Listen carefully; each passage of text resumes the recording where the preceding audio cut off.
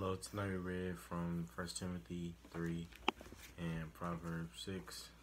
Um, I didn't get anything from Timothy, but uh, did you? I did. In First Timothy 3, as I go to it, um, as I stated before earlier, a few hours ago, I mentioned how if my father was alive, he would be one year shy of nine decades old, 89 years old. And I mentioned how much of an impact uh, he had. And in this chapter, it talks about how if you wanted to be a bishop or a deacon, you had to have leadership or rule over your home. You had to have your children in order and you had to, you know, really be organized and or orderly. And it said um, that the bishop had to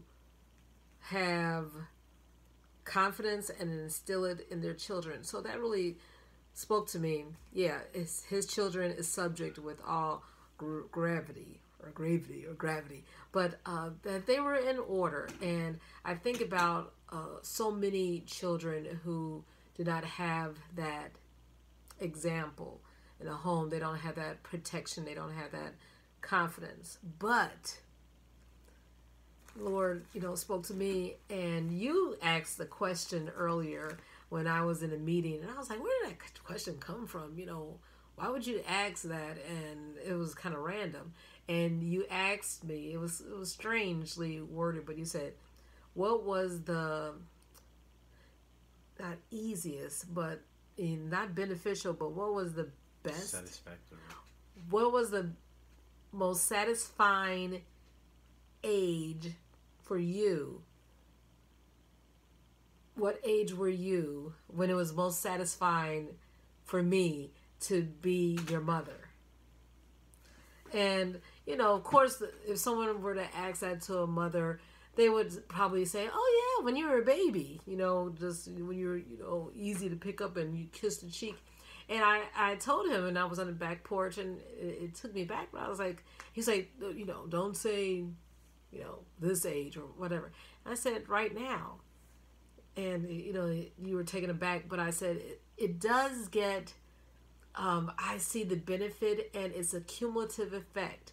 Every day gets better. Every year gets better even though there were bumps in elementary school and of course high school and woo and college but i see god's grace and kindness and his blessings on his life and more so i see it in my life how he has carried me and he has been the head of this home and the lord gave me more encouragement uh, from proverbs 6 and it talked about and I, I wrote a song about this if you remember and it was called my son. And i wrote it man probably 15 years ago. But it was talking about my son keep father's commandments.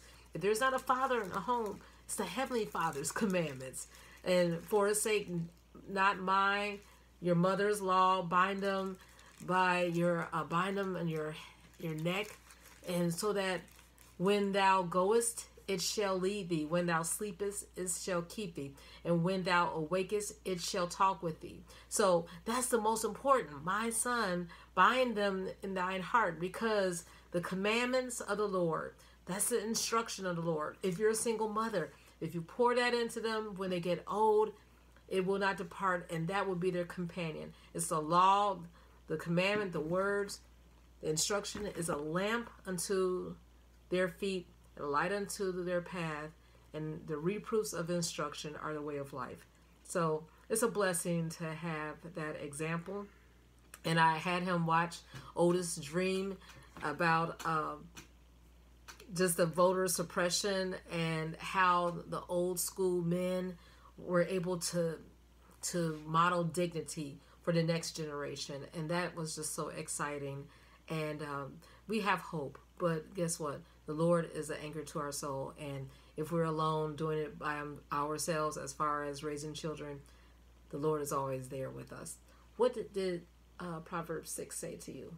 Um, the 15th verse. 15th verse, it says, Therefore shall his calamity come suddenly. Suddenly shall he be broken without remedy.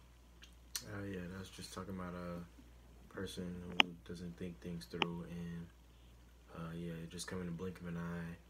You know, you live by the sword, you die by the sword. Like a rapper died today, so like, you know, you live, if you live in that life, you really can't be surprised. Um, so yeah, everything can die happen in an instance. You know, you can't expect that you're gonna die on a deathbed and everybody's gonna like your family's gonna be around you. You know, it can happen in a split second. It all be gone. So uh, think things through. Think things through. And the way of wisdom, the Lord will show all of us, His children, His creation, so that we can live the abundant life, whether we have a full home or one parent. God, our Father, is always with us. Have a wonderful evening.